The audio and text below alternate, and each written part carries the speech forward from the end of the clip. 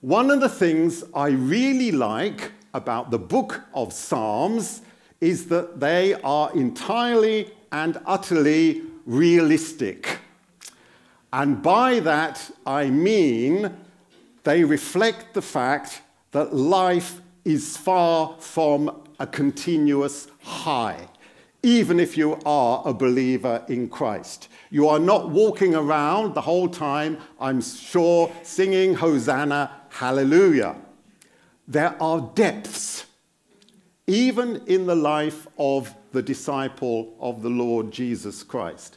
And many of the Psalms, and I would say it's a, it's a good 40% perhaps, of the Psalms reflect the fact that this worshipper of God who wrote the Psalms has basically been going through a really tough time. Something that here he describes as depths. And I'm sure many of us feel like that. Sometimes I come to church on a Sunday morning, and it is a tendency in modern Christian worship that all of the songs are upbeat, yes? The Psalms, including this one, by a long way, are not all upbeat. The, the Psalms reflect life how it actually is for many of us during the week.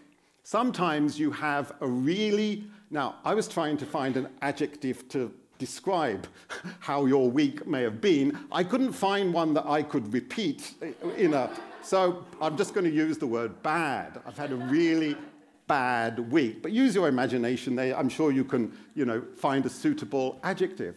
And then you come into church on a Sunday morning and you want to relate to God. You want to reflect how your week has been uh, to God. But you know, you go through the hymn book, and there's not many hymns that actually begin, Lord, I feel really depressed.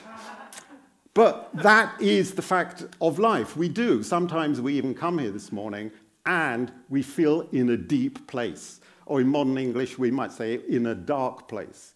And the Psalms actually are true to life. Many of the Psalms uh, reflect the life of the, the worshipper as being somewhere down there. We use the word depressed, don't we? Depressed means low down. And very often that, that is how we feel.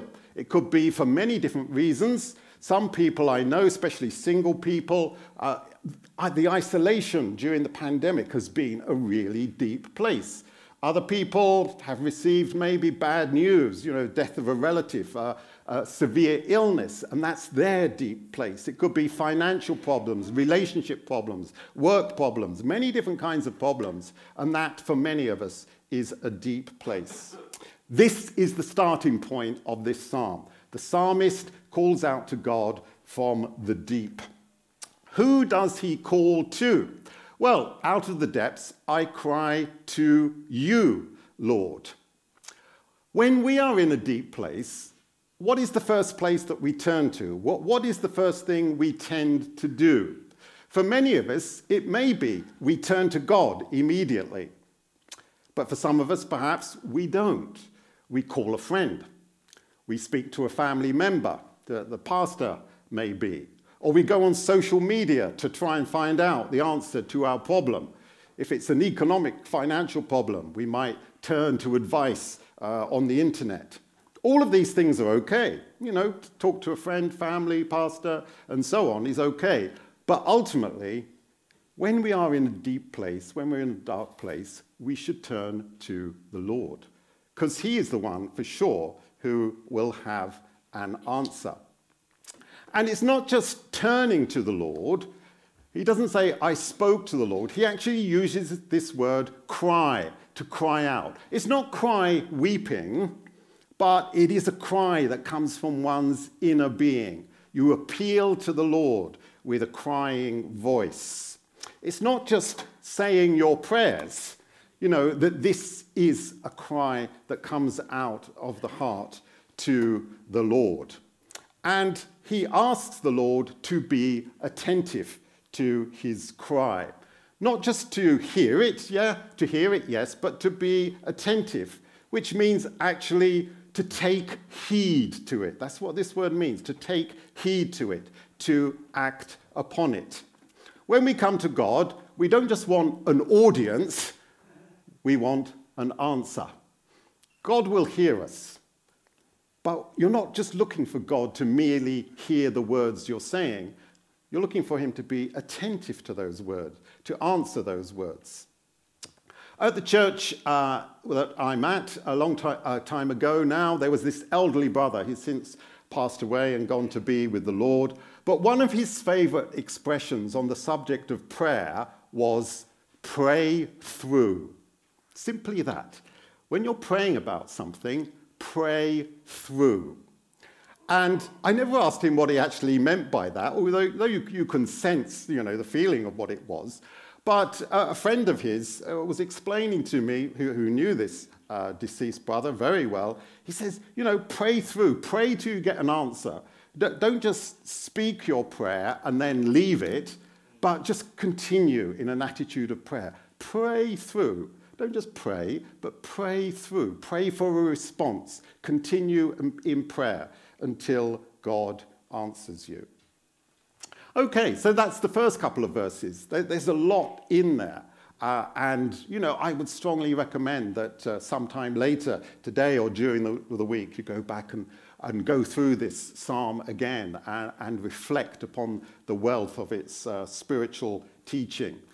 So, the psalmist is in the depths, as many of us will feel from time to time, maybe even now. And in the depths, we're encouraged to turn to the Lord of all people, to cry out to him from the heart that he would be attentive and respond to our prayer. In the second stanza, the psalmist brings up the subject of sin.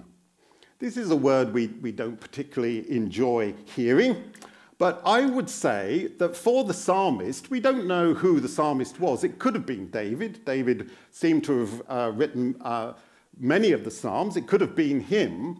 But I think that for this uh, person, whether it's David or not, his depth, his deep place, was the sin that he had committed.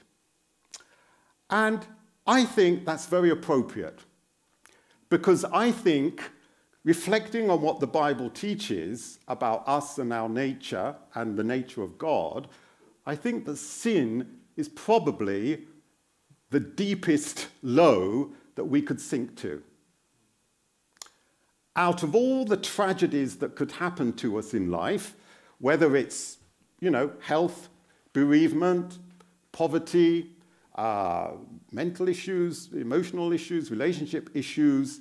These are all tragedies. But I think the greatest tragedy of all is the sin that separates us from God. I think that is far more serious than all the. I'm not saying these other things are not tragedies, they are, but the greatest tragedy of all, as Isaiah tells us, is sin. He says, to God, Isaiah, Your iniquities have separated you from your God. Your sins have hidden his face from you. That's the effect that sin has. And I was listening to uh, a sermon earlier in the week. I can't remember who, I think it was Rick Warren uh, from Saddleback Church. Uh, and he said that the greatest tragedy uh, in life is, is not death, it's actually committing sin that separates you from the God who is life. And, and I, I totally agree with him uh, on that.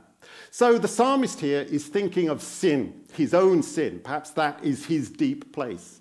And he says to God, If you, Lord, kept a record of sins, Lord, who could stand? He's asking the question. If God were to keep a record of our sins, who could stand? And he's asking the question, and the answer is obviously what?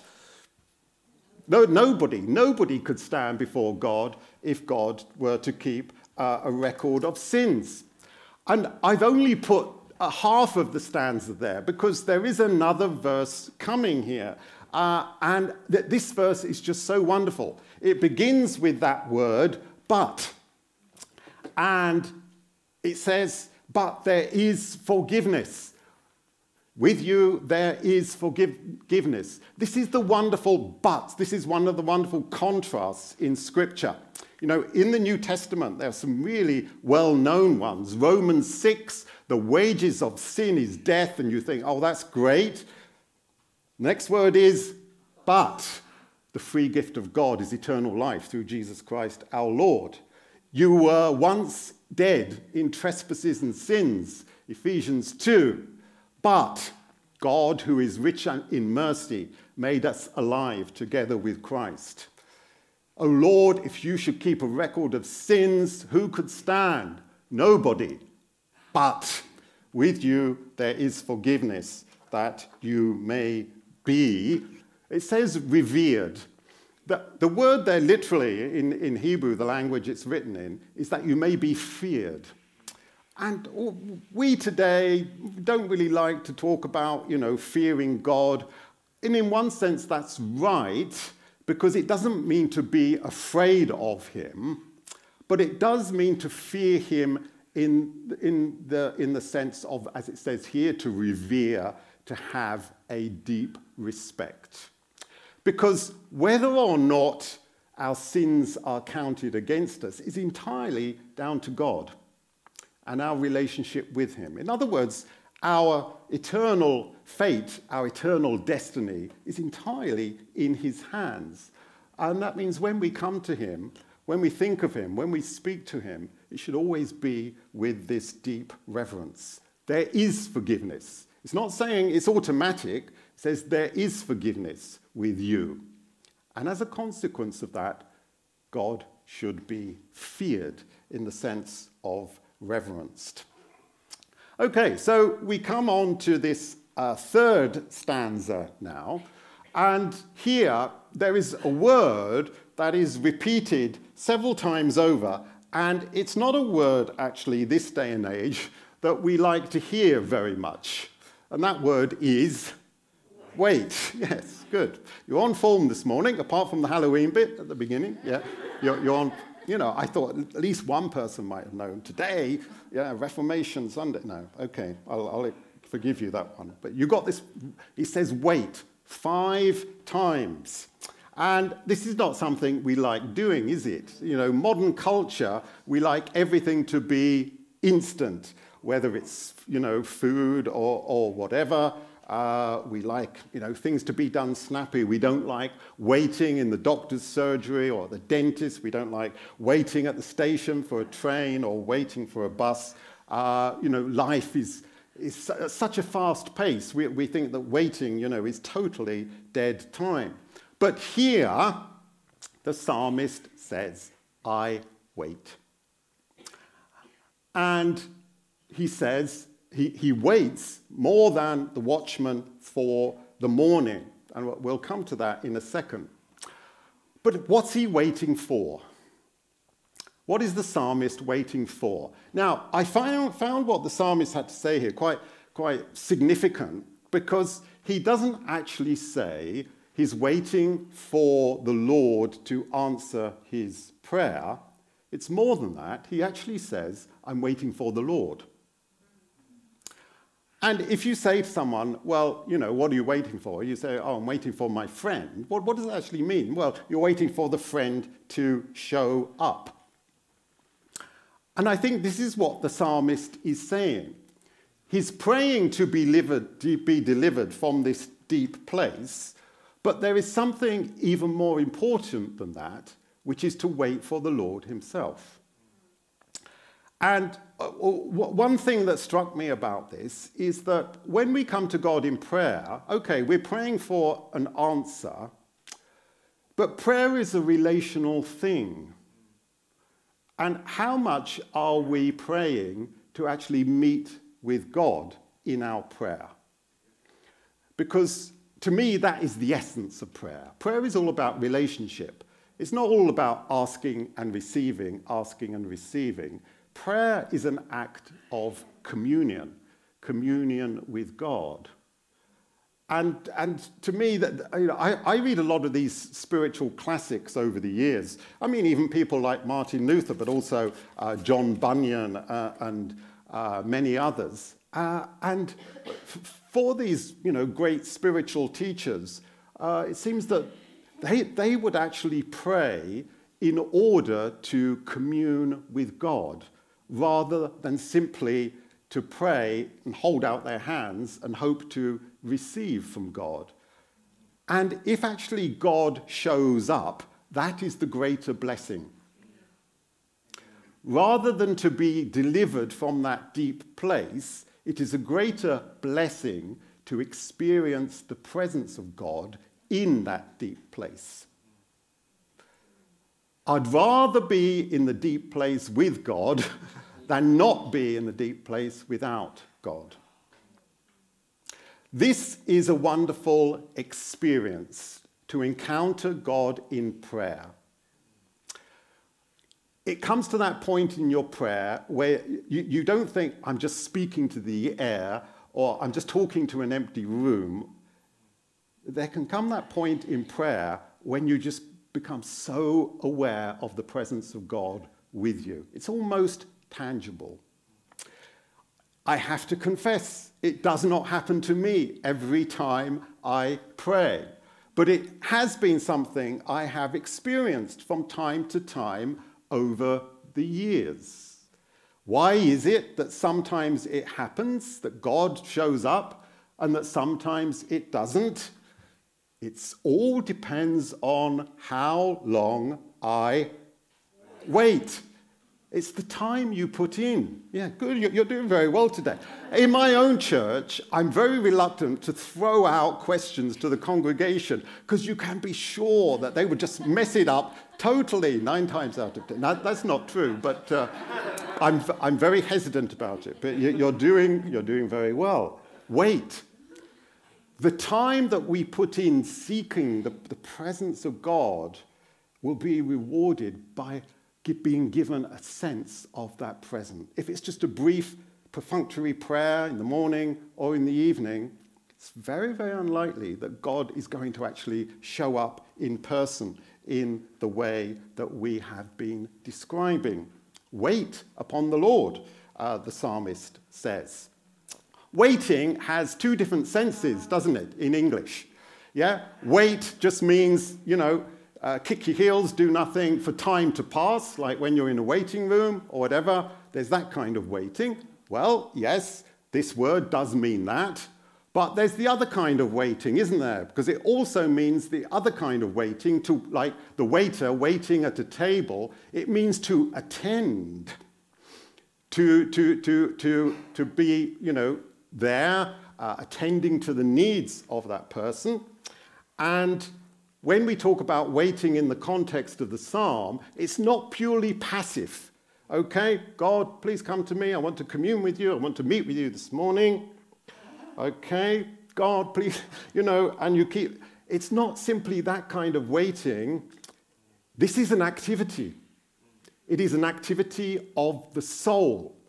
When he says he's waiting, it's really his soul that is waiting. Waiting upon the Lord is an activity of the soul where we lift our soul up to God to look for him, to seek his presence, to try to find him. And the psalmist here likens this to a watchman waiting for the morning. In ancient Israel, especially at night, uh, it was common to post watchmen on the walls of the city, and if there was some kind of attack or invasion, they would sound the alarm. But if ever you've been in, in this position, I used to have a job, a night shift once, and really, you know, uh, this was a long, long time ago. Uh, really, the thing you long for most if you're on a night shift is the morning. And, and I'm sure if you were a watchman standing on the walls of a city in Israel, I'm sure you wouldn't be thinking, oh, I just wish an enemy would come. You know, I think the thing you're probably thinking most of all is, when is it going to be morning? You know, and you look at your watch, well, they wouldn't have had watches, but you know, a watchman waits more than anything else for the morning. And uh, they didn't have bold letters when uh, the psalm was written or underlying, so he repeats it twice. This is how we should wait for the Lord more than watchman for the morning, more than watchman for the morning. It's an activity. an activity involving the soul, looking out for God. And if we are prepared to do that, if we are prepared to do this waiting in the passive and active sense, from time to time, God will come and we will feel his presence and we will be blessed. So we need to learn how to wait patiently upon God, and often the longer we wait, the greater the blessing. It's not just a passive thing, it's active. It's an activity of the soul. And Isaiah says this well known passage those who wait upon the Lord shall renew their strength. That is what it's like when we wait and God comes.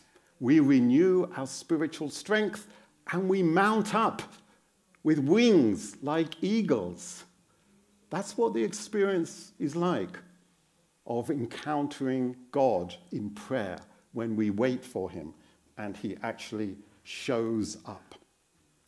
And so we come to the final stanza, uh, verses 7 and 8. And the psalmist here, having experienced these things for himself, he now appeals to his own people, to Israel, the people of God. We are the Israel of God today. And he says, Put your hope in the Lord. No matter what our dark place is, with the Lord, there is always hope. There is no situation that is beyond his help. There is always cause for hope in the Lord, even if it's sin. Some commentators say, well, this is David, and his deep place was the adultery that he had committed with Bathsheba, or, or whatever it is. There is no place that's too deep that God cannot get us out of it. There is always cause for hope. So he's still thinking of sin here, I'm sure, and that is because he uses this word redemption. And redemption is quite a key word in the Bible.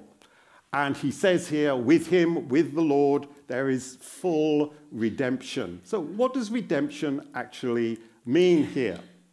There's two basic ideas in redemption, and whenever we see this word in the Bible, or the, the verb redeem, there's two ideas we need to bear in mind. Redemption, first of all, means that something, or perhaps someone, is being held, is being possessed, is being kept in some way, often forcibly, like being enslaved. That's the first idea behind redeem. That, that is the basic situation that redemption addresses. And then the second key idea is that in order for that thing that is being held or possessed or enslaved to be released, a price has to be paid. And in the Bible, the most common uh, way that redemption would be understood is talking about slavery. There is a slave owner who owes, owns slaves, and yet someone can come along and pay for a slave to be released. And they would use the word redeem and redemption for that. We are being held captive, and a price needs to be paid for us to be set free. And this redemption, God is able to perform fully, he says.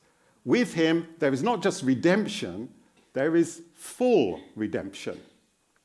I can't remember what the NIV says here. It might, might be plenteous redemption, is it? Or is it abundant redemption? It's full. It's full. Okay. you get the idea. It, it, it's not, the, the psalmist is emphasizing it. This redemption that we need, that we look for, is a full redemption. It's an abundant redemption. It's a plenteous redemption. What our redemption requires is for us to be set free from what it is that enslaves us. Here is my next question to everybody What is it that enslaves us? Sin, yes, well done. Okay, yeah, you're doing very well. I'm impressed. Paul says several times in the New Testament, we are slaves to sin. Something we experience constantly is the effect, the power that sin can have over us. And a price needs to be paid to set us free. The price was God Himself coming down in the form of Jesus. He took on our nature and He paid the price so that we would have this redemption. In Him, in Jesus, we have redemption through His blood, through His death, the forgiveness of sins in accordance with the riches of God's grace. That last verse of the psalm says that He Himself will redeem Israel. And that's exactly what He did. Emphasis on Himself. He Himself paid the price so that we could be redeemed. And then the very last line there you know, you know, I think we should pay attention to the small words as well. And there's a small word in that last line, but it's one that I find tremendously encouraging. And what do you think that word is? All, all. yes, good. It's the word all. Not just some of your sins. There is no sin that we can commit that God is not able to forgive. It's a full redemption, it's an abundant redemption. And he will redeem Israel, he will redeem his people, he will redeem you, he will redeem me from all our sins. And I think in the New Testament, the, the, Apostle John may have been thinking of this last verse of the psalm when he says in his first letter, If we confess our sins, as we need to do, God is faithful and just and will forgive us our sins and cleanse us from all unrighteousness. God will redeem Israel from all their sins. He will cleanse us from all unrighteousness. So there is Psalm 130. And so as we end now, what I would like you to do is just look through the psalm there that we've considered together can you see now why uh, this, this can be described as a gem? Do you get some sort of sense why this was Martin Luther's favorite, favorite psalm? So, just casting our eyes over the words of the psalm, what has God been saying to you through his Spirit this morning? And I just want you to identify, look there for one thing perhaps more than anything else, that God has been saying to you. And then in the silence, in the quiet, I just want us to spend a few seconds just sort of meditating, processing that, and praying it into our minds and into our hearts. So just have a look, and then we'll just spend a few seconds in silence praying to the Lord.